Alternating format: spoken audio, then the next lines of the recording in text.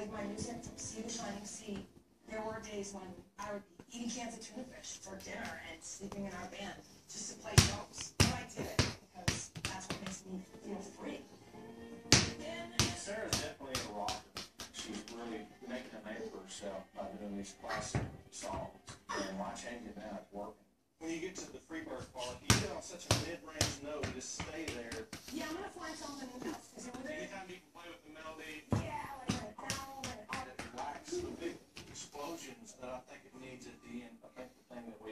is that screamer side of what she does. That ah!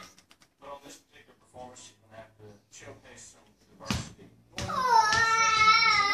Big orchestrated ad. I'm afraid I'm gonna fake the audience out. It's gonna kill them.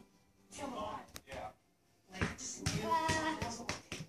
And he came up with an alternative arrangement.